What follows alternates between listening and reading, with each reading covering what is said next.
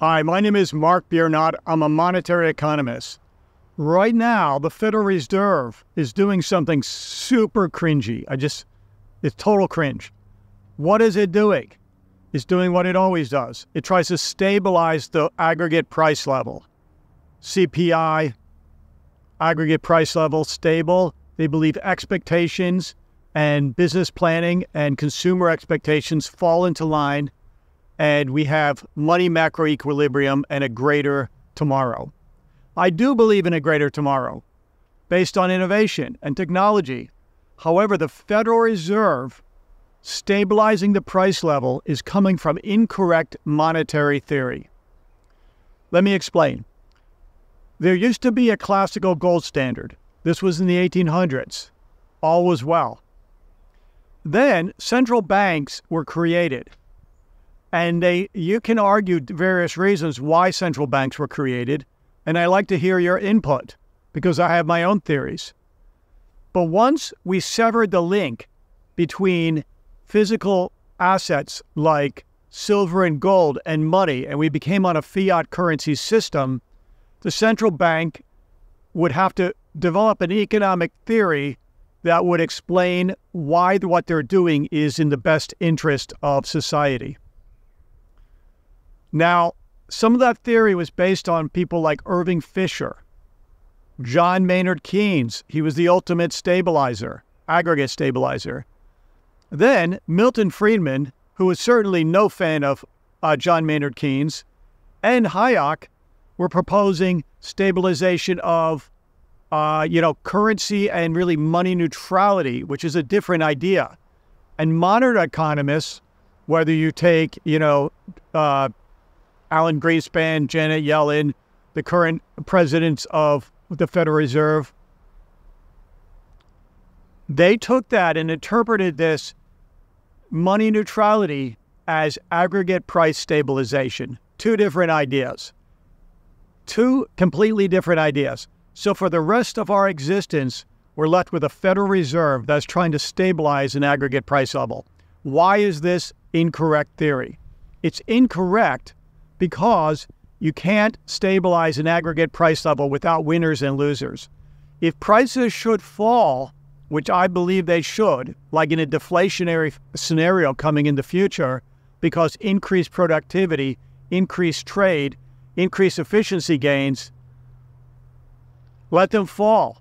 When prices fall in every single case, according to the laws of supply and demand, either two things happen demand stays the same or demand increases.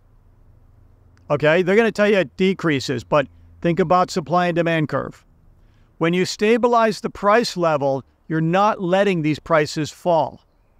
When you don't let these prices fall, it dampens demand. It dampens aggregate demand. It's the opposite effect of what you want. The market should determine the price level. Prices should fluctuate, just like if you go uh, and pump your car with gas. It fluctuates daily. There's a reason it fluctuates. You know, maybe the price of pizza fluctuates, maybe, maybe housing prices fluctuate. There's a reason it responds to market conditions which are so complex and beyond any econometrician sitting in, you know, an office with a title. It's because people, again, the collective unconsciousness of humanity, entrepreneurs, demanders, suppliers, they determine the price based on the laws of marginal utility. When you stabilize the aggregate price level, and, and spe- specifically in our case, in a vibrant, growing, great economy, and not let it fall, that dampens demand. And I go back again, every single case where prices fall by the laws of supply and demand, demand should increase, right? So, this cringy policy by the Federal Reserve, I can't describe it in any other way than cringy, is really wrecking havoc with the U.S. economy. What comes next? I do believe in a brighter tomorrow. But I do believe business cycles happen between these peaks to peaks. Asset prices go up, and we know who that benefits. So price stabilization, the stabilizers, any economic textbook will tell you this is a good thing. I'm a monetary economist. It's a bad thing. Knut Wicksell, 1898. Interest in prices. Initially, he was a stabilizer. In the early 1920s, after the Davidson uh, polemic, he was convinced prices should vary inversely with productivity. So the Federal Reserve is incorrect. I'm sorry to say that.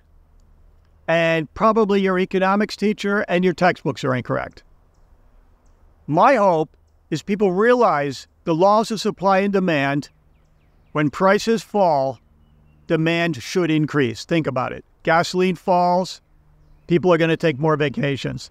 Flights to Europe fall, people are going to go to Europe this summer. Right? Hotels fall, people are going to stay in more hotels. So let the prices fall. Let technology do its magic and its pixie dust and work on the economy. And Federal Reserve, try to stay out of economics. My name is Mark Biernat. I'm a monetary economist. Thank you very much.